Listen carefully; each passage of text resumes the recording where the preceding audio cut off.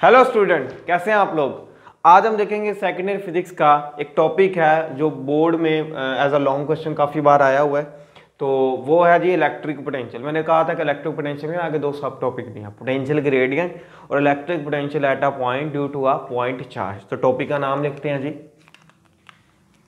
Electric potential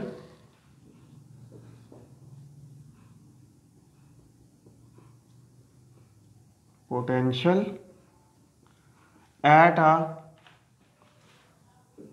point due to point charge, ठीक है? अच्छा सबसे पहले तो मैं इससे मिलता जुलता एक टॉपिक हमने फ़र्स्ट ईयर फिजिक्स में पढ़ा था चैप्टर नंबर फोर में एब्सोल्यूट पोटेंशियल एनर्जी ठीक है? तो इसका एक मिलता जुलता नाम है, वो है जी एब्सोल्यूट इलेक्ट्रिक पोटेंशियल इसका एक और नाम है, वो है absolute electric potential at a point ठीक है? तो सबसे पहले तो मैं आपको एक ग्रेविटेशनल एनर्जी के लिहाज से एग्जांपल देता हूँ देन फिर हम इस टॉपिक की तरफ़ आते हैं, ठीक है? लेट्स सपोज़ ये मेरे पास एक बिल्डिंग है, ठीक है? इसके अंदर काफ़ी ज़्यादा माले हैं ठीक है? इसकी एक कहानी है जो हमने सबको सुनानी है वो कहानी आपने समझ लेनी है टॉपिक तैयार मस्त करके ठीक है? इसके ऊपर है जी दस ऐसे दस कह लो पाँच कह लो सात कह लो कितने भी फ्लोर हैं ठीक है? इस फ्लोर पर एक लेट सपोज़ कोई वेट पड़ा है थैला पड़ा है उसका मैस है एम ठीक है? मैं इधर गया अपने किसी दोस्त के साथ मैंने कहा यार इस थैले में कितनी एनर्जी स्टोर है? आ, उसने कहा सर एम जी एच मैंने कहा एम जी एच उसने कहा, सर, वो असल में ना ये थैला ज़मीन से ना इस हाइट जी पर एच पर पड़ा हुआ है, इधर से एच पर। मैंने कहा, लेकिन यार वो, ये भी तो हो सकता है कि जिस जो बंदा थैला लाया, वो कहे, सर एम जी एच तो है ही नहीं इसके अंदर। मैं कहा, वो क्या कहेगा? वो कहेगा, सर, मैं तो लाया हूँ इसे फ़र्स्ट फ्लोर से। ये ग्राउंड फ्लोर है, ये फ़र्स्ट है, ये सेकंड है, ये थर्ड है, ये फोर है, ये फाइव है और ये सिक्स फ्लोर है। तो वो क्या सर, मैं तो लाया जी एच वन से हूँ। तो इसका मतलब है, वो कहेगा, सर, इसके अंदर एनर्जी स्टोर है यहाँ से। क्या होगा? एम जी एच वन ठीक है? फिर एक और बंदा वो कहेगा, सर, मैं तो लाया ही से थर्ड फ्लोर से था। मतलब ये पॉसिबिलिटीज बन रही है ना कि थैला कहाँ पे पड़ा था पहले और कहाँ तक लाया गया। यानी कि हमें पता है कि जितना आप वर्क करोगे, उतना ही उसके अंदर चेंज इन पोटेंशियल एनर्जी आएगा। ऐसा ही है। पहले लेट्स वो ज़मीन पर है, जितनी भी है, उसमें से आप उसका माइनस करो तो उतना वर्क है। अब ये हो सकता है कि वो बंदा मे बी थर्ड फ्लोर से लेके गया हो तो फिर उसके लिए आज से हो जाएगी। एम जी एच थ्री अब हर जगह ये क्या है? डिफरेंट है। तो इसमें बड़े घपले आ रहे थे। तो इसके लिए हमने एक यूनिक किस्म की एनर्जी निकाली जिसका नाम रखा था एब्सोल्यूट पोटेंशियल एनर्जी मैंने कहा वो क्या थी? उसने कहा, सर, वो एनर्जी तो थी, वो एग्जैक्टली ज़मीन के रेफरेंस से थी। क्योंकि ये जो रेफरेंस है, ये चेंज हो रहे हैं। तो आप बता ही नहीं सकते कि इसके अंदर हकीकत में एनर्जी कितनी स्टोर है। हाँ इसके अंदर एग्जैक्टली जो एनर्जी स्टोर है, वो अर्थ के लिहाज से जो स्टोर है ना, वो एनर्जी जो होगी, वो इसकी कहलाएगी एब्सोल्यूट पोटेंशियल एनर्जी एक्सप्रेशन में उसका लिख देता हूँ, शायद आपको रिवाइज हो जाए. वो था U is equal to minus G M M over capital R where gravitational constant M is the mass of that body यानी कि हमारे थैले का मैस एम हमारी अर्थवा का मैस और जो आर है R is the radius of the earth यानी कि ये जो एनर्जी है, ये अर्थ के सेंटर से आर से ली गई है। और यहाँ तक जितनी भी बनती है, वो एनर्जी इसके अंदर स्टोर थी और उसका नाम रखा था हमने एब्सोल्यूट पोटेंशियल एनर्जी अच्छा एक तो इसका ये फ़ायदा था, एक इसका और भी फ़ायदा था। सोचो जरा वो फ़ायदा क्या है। वो इसका ये फ़ायदा था भाई कि ये हो सकता था कि मे भी वो बंदा बेचारा इस सीढ़ियों से आए ना, वो बड़ी मुशक्कत करने के बाद लेट्स सपोज़ हम कहते हैं कि वो बंदा आया वन से ही है फ़र्स्ट फ्लोर से या ग्राउंड फ्लोर से, किसी से भी। लेकिन वो बंदा बेचारा ना वो आ, उसके पास ना लिफ्ट इस बिल्डिंग की लिफ्ट खराब थी ठीक है? तो लिफ्ट से जो भी एनर्जी स्टोर हुई थी हुई नहीं वो बेचारा बड़ी मेहनत से सीढ़ियाँ चढ़ चढ़ के ऐसे बेचारा आता रहा सीढ़ियों से। बेचारा इधर गया सीढ़ियों से इधर आया ऐसे आया ऐसे आया ऐसे आया ऐसे आया फिर ये इधर पहुँच गया और ऐसे इधर रख दी। तो वो सीढ़ियों से आ रहा है। तो अब उसने तो ज़ाहिर सी बात है यार मेहनत ज़्यादा की। लेकिन जो उसकी हॉरिजेंटल पोथ जो रस्ते वाली मेहनत है, हम, हमने तो उसे निगलेक्ट कर देना हमने कहा ना, इस डायरेक्शन में तो वर्क होता ही नहीं ना। थैला पकड़ के मैं ऐसे चलूँ। थैले का वेट नीचे, जा मैं इधर रहा। हूँ एफ़ डॉट डी वर्क और एफ़ डॉट डी के मुताबिक कोस ज़ीरो बन रहा है। कोस ज़ीरो क्या हो जाएगा? ओ सॉरी कोस 90 बन रहा है। कोस 90 ज़ीरो तो हॉरिजॉन्टल वाला वर्क तो मैं कैलकुलेट ही नहीं कर रहा। तो बेचारे की मैंने ज़ाया होगी। अब मैंने तो नहीं पता, मुझे तो नहीं पता वो बंदा ऐसे ऐसे करके आया या लिफ्ट से आया। मैं तो सिर्फ़ उसको यहाँ पर जितनी इस बॉडी में एनर्जी स्टोर है ना, सिर्फ़ उसके पैसे दूँगा कि भाई तूने उतना वर्क किया। उस एनर्जी का नाम क्या होगा? एब्सोल्यूट पोटेंशियल एनर्जी यानी कि ये एनर्जी फिर डिपेंड भी नहीं कर रही किसके ऊपर? पाथ पर। ये सिर्फ़ डिपेंड करेगी कि भाई कहाँ पर पहले थी और कहाँ पर बाद में थी। क्योंकि हम लेंगे कंजर्वेटिव फ़ील्ड सेम इधर है। इधर क्या है? इस चीज़ को हम इधर अब एक और अंदाज से समझते हैं।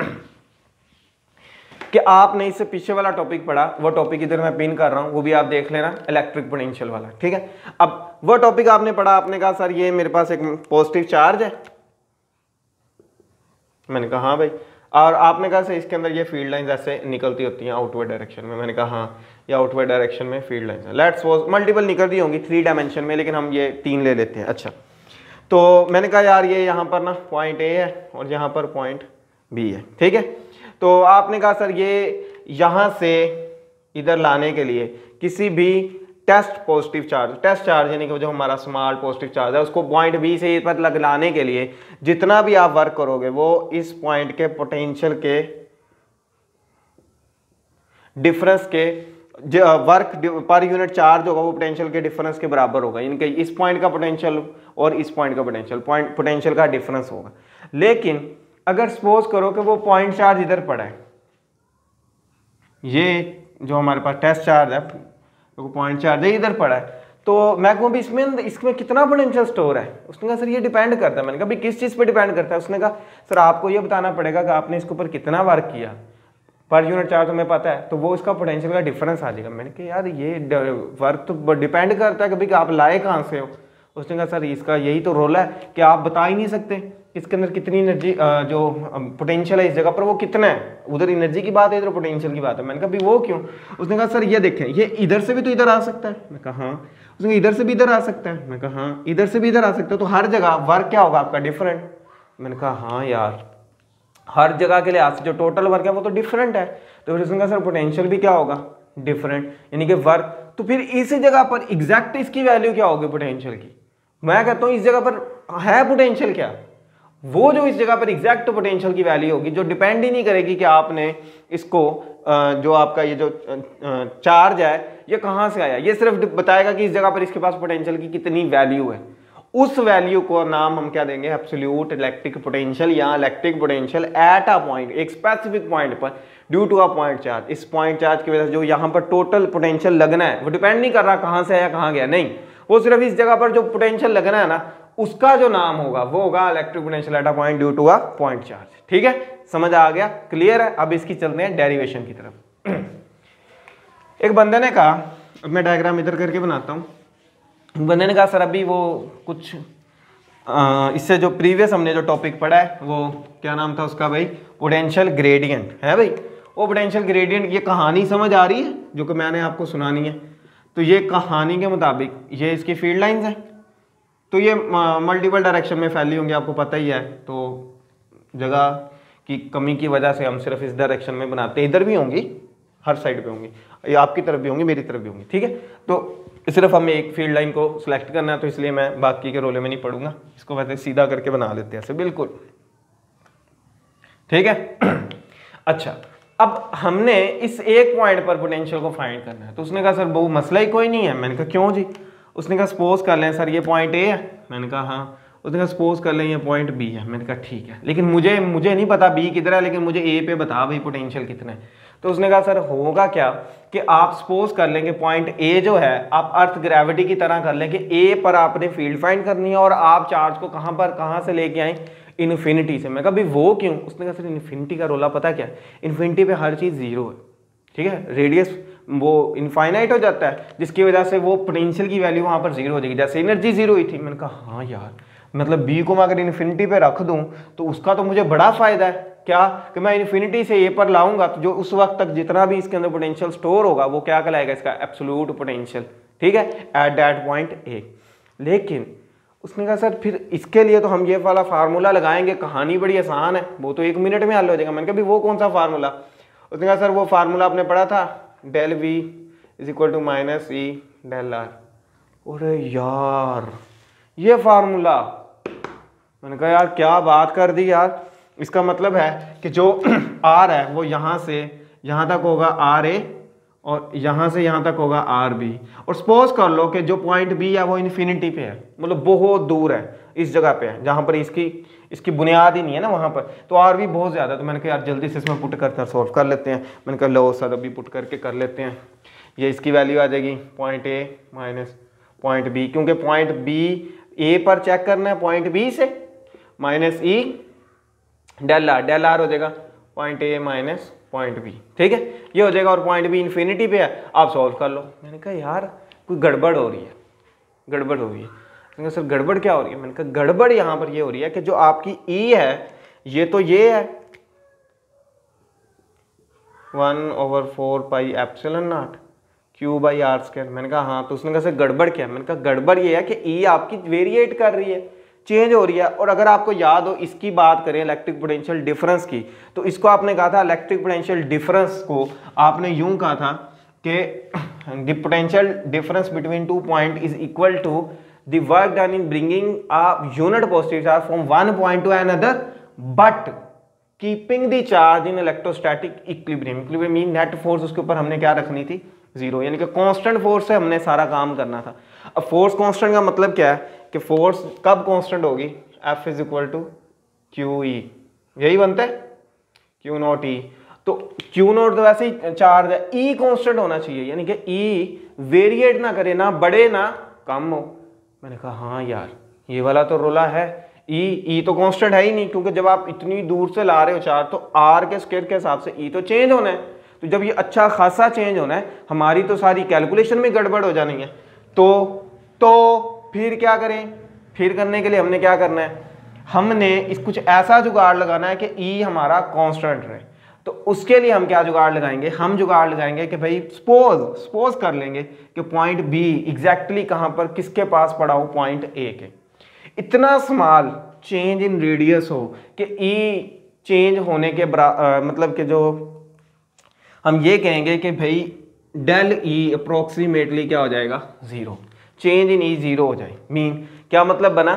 कि हमने पॉइंट बी को एक इतना करीब कर देना, इतना करीब कर देना कि इनके दरमियान का जो रेडियस जो चेंज होना है मतलब जो आर के हिसाब की जो वैल्यू है, वो इतनी कम हो जाए कि इसका जो ई e की वैल्यू में जो चेंज है, वो तकरीबन तकरीबन क्या हो जाए? ज़ीरो हो जाए। तो अब वो जुगाड़ लगाकर हम इसकी कैलकुलेशन को करते हैं। ठीक है? चले। अब उसके लिए क्या करना पड़ेगा? उसके लिए हमें आर को सिर्फ़ सॉल्व करना पड़ेगा। बाकी कहानी हमारे पास सॉल्व है। क्या है? हमने पॉइंट ए और बी को एक दूसरे के बहुत ज़्यादा करीब ले लिया, ठीक है? तो पॉइंट ए से पॉइंट बी के दरमियान का पॉइंट ए से पॉइंट बी के दरमियान का पोटेंशियल का डिफरेंस सपोज़ के पॉइंट बी बहुत करीब पड़ा है पॉइंट ए के. ई e की वैल्यू आपको पता है ये, और ये हमारे पास है R A point R A जहाँ पर जाना है, क्योंकि हम इधर से इधर आ रहे हैं, भाई इधर से इधर क्यों आ रहे हैं? ये समझ लेते हैं. अब हमारे पास चार्ज कौन सा है? ये वाला पॉजिटिव चार्ज अब मुझे बताओ, ये इधर आते हुए एनर्जी स्टोर करेगा या इधर जाते हुए? ज़ाहिर सी बात है ऑपोजिट क्योंकि इधर लाने के लिए वर्क करना पड़ेगा। इधर तो ये खुद जाएगा, क्योंकि पॉजिटिव पॉजिटिव को रिपेल करेगा। इसका मतलब है मैं इसको पकड़ के ऐसे लेके आऊँगा। जब मैं इसको पकड़ के ऐसे लेके आऊँगा तो इस साइड पर लाते हुए मुझे वर्क करना पड़ेगा। और जब वर्क करूँगा तो वही वर्क इसके अंदर किस शक्ल में स्टोर हो जाएगा? एनर्जी या दूसरी चीज़ work done per unit charge वो क्या होगा पोटेंशियल का डिफरेंस इसका मतलब तभी पोटेंशियल की सेंस में हम कहेंगे, भाई यहाँ पर पोटेंशियल है।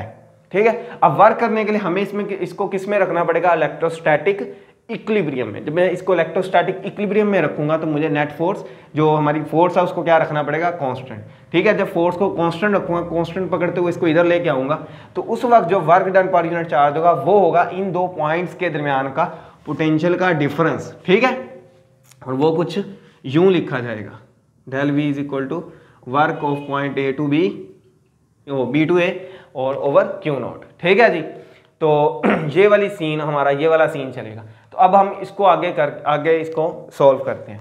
अब इन दोनों पॉइंट्स के दरमियान में जो डिस्टेंस होगा ना आर इसको बोलते हैं मीन डिस्टेंस ठीक है? मीन अरिथमेटिक मीन ठीक है? तो उसकी सेंस में हम इसे सॉल्व करेंगे। अब ज़रा हम सॉल्व करते हैं। तो ये वाली जो पूरा सोल्यूशन है, ये आपने फ़र्स्ट ईयर फिजिक्स में किया था, लेकिन इधर उसने एक नए अंदाज से किया है। वो नया अंदाज है जियोमेट्रिक मीन वाला। तो हम दोनों ही ट्राई करेंगे। तो सबसे पहले तो मैं लिखूँगा कि भाई डेल आर क्या है, और एंड में इसकी फिर डेफिनेशन भी लिखते हैं। डेल आर क्या है?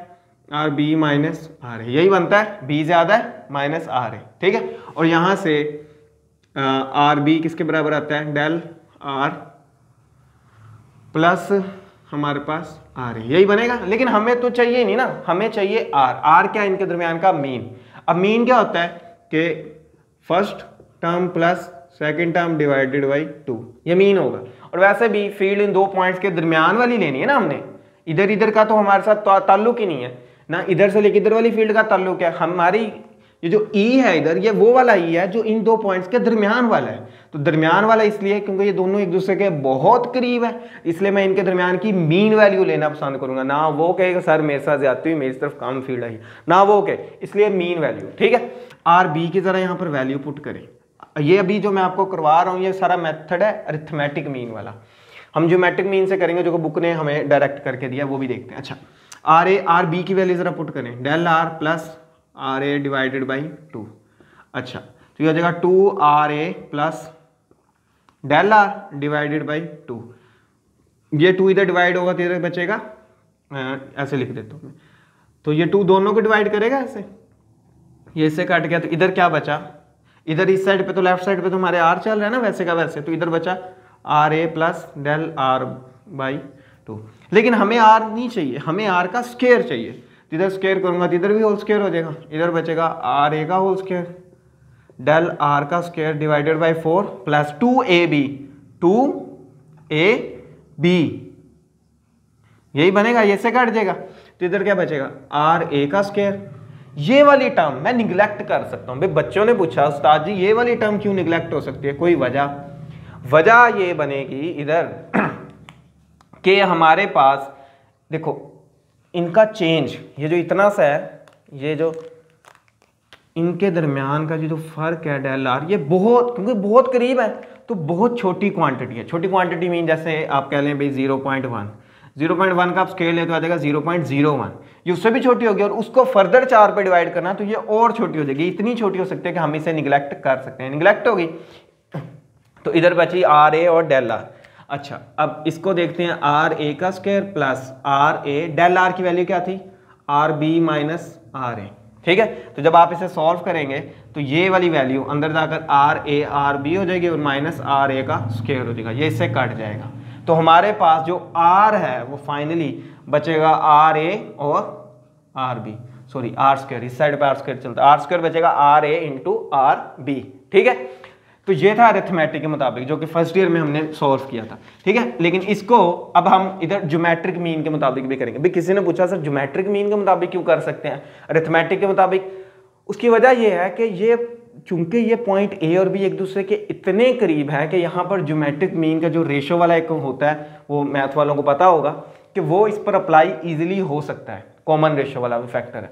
वो क्या होता है कि higher divided by lower higher divided by lower higher ये है डिवाइडेड बाई लोअर ये आर है. ये वाला यहाँ से लेके यहाँ तक आर था. ये फिर हायर डिवाइडेड बाई लोअर ठीक है? तो ये दोनों कॉमन रेशो क्या होती हैं? बराबर होती है, यानी कि R B divided by R divided by R इससे और इससे आगे कौन है? R divided by R A, इससे पीछे वाला. ये एक कॉमन रेशियो है. ठीक है? इस कॉमन रेशियो के मुताबिक जो आर स्केयर है, वो किसके बराबर आ रहा है? आर ए और आर बी तो देखो, ये और ये ये सेम बने हैं। तो आप चाहे इस मेथड से कर लें तो क्वेश्चन लंबा हो जाएगा। चाहे इस मेथड से कर लें तो भी ठीक है।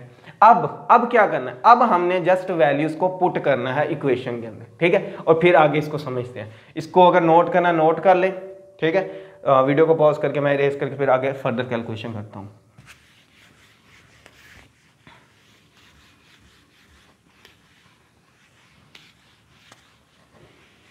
नाम भी उड़ा देते हैं। अच्छा।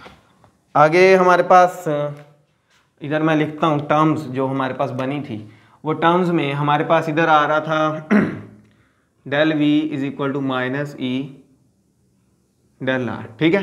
तो यहाँ पे डेल आर आपने कहा था, भाई R A minus R B point B से ये तक लेके आना है इमेज में आप देख सकते हो। अच्छा डेल वी डेल वी क्या था? Potential at point A minus potential at point B ठीक है? क्योंकि ए पर ज़्यादा है बी पर कम है, ठीक है? और ई e की वैल्यू ई की वैल्यू थी one by four pi epsilon naught q over r square जो कि क्यू है, ये वो मेन चार था जिसकी फ़ील्ड को हम बात कर रहे थे, जिसकी फ़ील्ड की बात कर रहे थे, ठीक है? अब, और यहाँ पर हमने जो अभी कैलकुलेशन किया, उसके मुताबिक जो आर स्केयर था, वो किसके बराबर आया? आर ए और आर बी तो आपने जस्ट ये पुट करना है। तो इन्हें मैं इधर पुट करता हूँ। V A minus V B. इस इक्वेशन में, इक्वेशन वन में ये वाली कहानी पुट की जाएगी, ठीक है? ये माइनस को अंदर मल्टीप्लाई कर दें तो अंदर डेल आर ये था R A minus R B. तो ये इक्वेशन कुछ हमें यूँ पलटती नज़र आएगी, R B minus R A. ठीक है जी?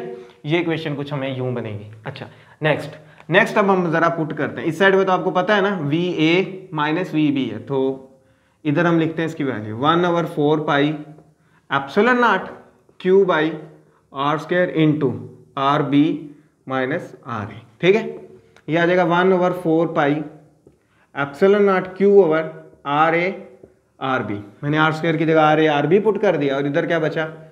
R B minus R A ठीक है? इसको वैसे ही रहने दे. One over four pi epsilon naught Q ये क्या होगा? आर बी माइनस आर, ये मैथमेटिक्स के मुताबिक ये दोनों पे जाकर क्या दे देगा? डिवीज़न एक बार इसको इसके नीचे डिवाइड करेंगे, एक बार इसको इसके नीचे। तो इधर लिखते हैं one over four pi epsilon naught Q वैसे ही, बाई, ठीक है? इंटू आर बी आ जाएगा R A R B minus R A R A R B यही बनेगा? ये इससे कैंसिल आउट हुआ। ये इससे कैंसिल आउट हुआ। तो इधर हमारे पास जो फाइनल बनेगी, वो बनेगी one over four pi epsilon naught, ठीक है?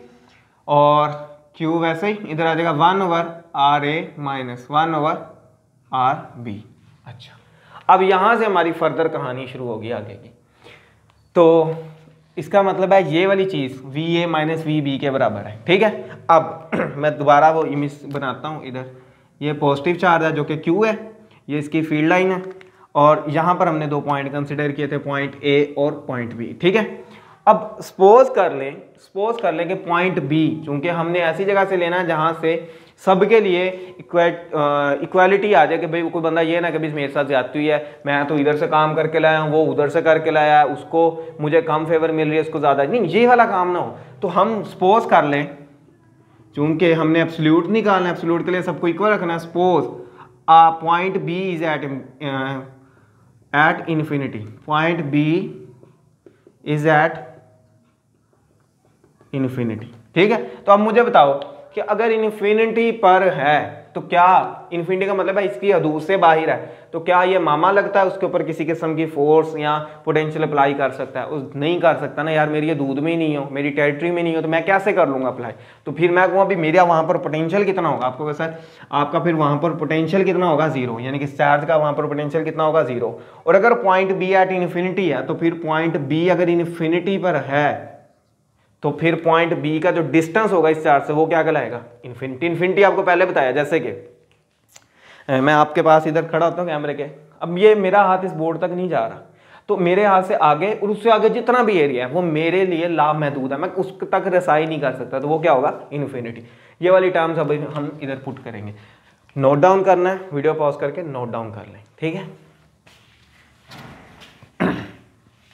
अच्छा तो अब हमारी ये लेफ़्ट साइड पर जो वैल्यू थी, वो थी V A minus V B which is equal to one over four pi epsilon naught Q into one over R A minus one over R B यही थी।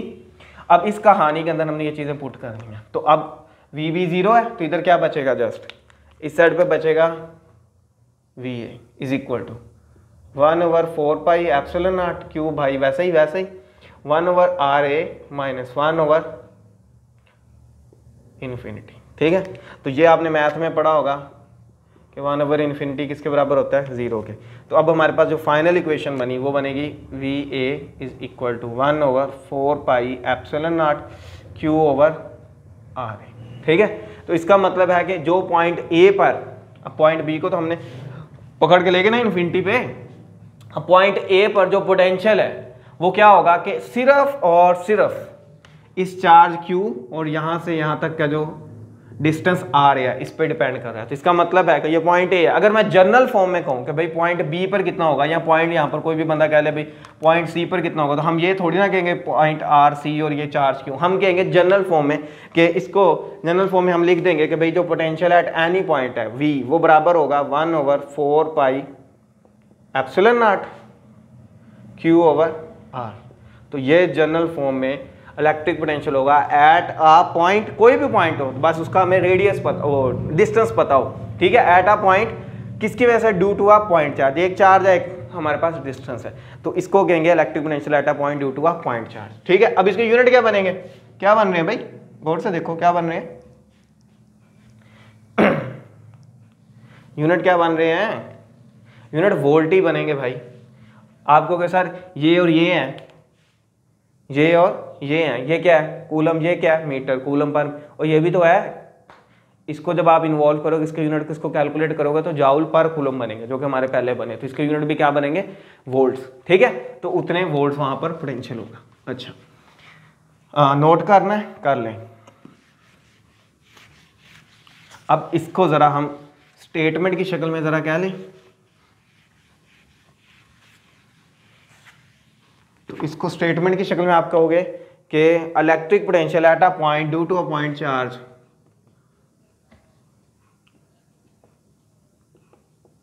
electric potential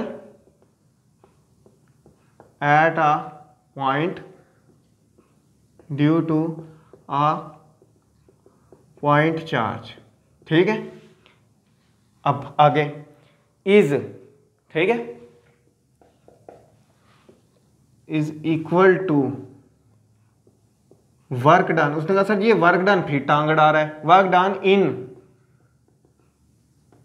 bringing a unit positive charge वो जो हमारा test charge था positive charge लेकिन तब point B से लाए थे इलेक्ट्रिक पोटेंशियल में। अब कहाँ से लाएँगे? यूनिट पॉजिटिव चार्ज फ्रॉम कहाँ से? इन्फिनिटी टू डैट पॉइंट अब इसको डायग्राम में आपको बनाकर दिखा देता हूँ। ठीक है? तो ज़ाहिर सी बात, उधर हमने कहा था स्केलर क्वांटिटी तो अब भी स्केलर है। ठीक है? तो ये हमारा था टेस्ट चार्ज ये समझ लो कि इस लाइन से आगे का एरिया इसके लिए इन्फिनिटी है।